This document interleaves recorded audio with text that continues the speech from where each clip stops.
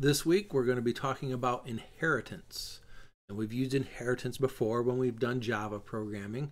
We used it in Greenfoot when we had maybe actors. Uh, we, we created, for instance, a crab that, that inherited uh, methods and fields from the actor class. Uh, we may have had inheritance in some of the other projects we did as well. Um, it's not a new concept to us. So I'm going to review it a little bit and we're going to talk about a model that we're going to go through as an example and we're going to learn to uh, implement inheritance in C sharp. So inheritance allows us uh, to use an existing class to create a new class. So we don't have to code the same things over and over and over. The new class inherits the members of the class it extends. So over here is the example that I'm using for this.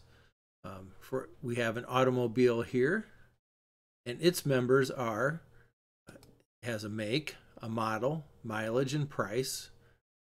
Those are all properties of our automobile. It also has a method called step on it. All right. So that's a generic automobile. But then we're going to make a spe more specific type. We're going to specialize the automobile. So uh, we're going to specialize the automobile by making a car.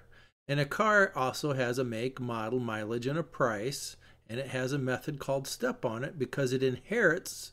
And this line here with the arrow on the end is showing us that car inherits from automobile. So car will have all of these things that an automobile has, but car also has, uh, we're going to keep track of the number of doors. Right. And the same thing for trucks. We're going to make a truck class that also inherits from automobile. It will have a make, model, mileage, and price for properties. It'll also have the method for step on it that it gets automatically from the automobile class. But it also has a couple of its own members. Uh, one is a property called is four wheel drive, and the other one is a property called is diesel. Uh, we could also have methods down here on these and and more things that we wanted to add on to trucks or cars as they specialize from automobile. But this is going to be enough for this demonstration. Um, and then here they're actually talking a sedan, pickup truck, and SUV. So we could have more than just car and truck class. We could have a car as a, is a sedan, really, uh, depending on how many doors it has, I guess. Uh, pickup, we use the word truck instead, and SUV so we're just using a slightly different version of the example uh, that they talked about over here. So when an object is a specialized version of another of another object, there is an is a relationship between them. So here, over here they're showing uh, basically a, kind of a UML diagram using pictograms. Um, but an ins, uh, grasshopper is a insect, is an insect, right?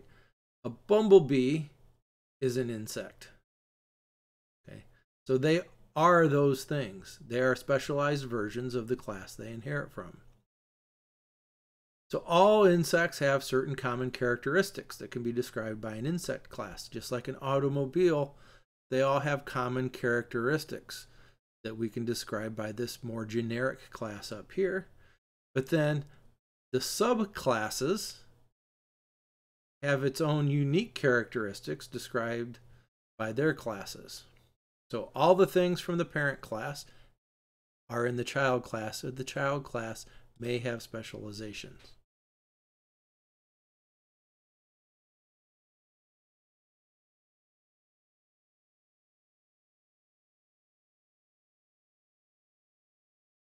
All right, so inheritance involves base and derived classes. So automobile in this example would be our base class, and it's sometimes called the super class. Car and truck are the derived classes, and we often often call them subclasses. So you hear a lot of the terms that mean the same thing thrown around, and depending on where you work, who you work with, uh, certain languages tend to use certain terminology, but they all mean the same thing. Uh, the derived class inherits fields, properties, and methods from the base class. and we do not have to rewrite those. So we'll see them in a minute. We'll, we'll create an automobile class with all these things. Then we'll create a car class that inherits from that class. And we'll create a truck class that also inherits. And we're going to learn about a few uh, new concepts along the way. Uh, inheritance notation, we'll get to that in our code coming up, but assuming that there's an automobile class, when we write our car class, we use the colon. So when we declare the class to be a car, we use colon and we name the class that inherits from right after it. So the colon indicates that the class is derived from another class. So in the next video, we'll create a project and we'll start coding.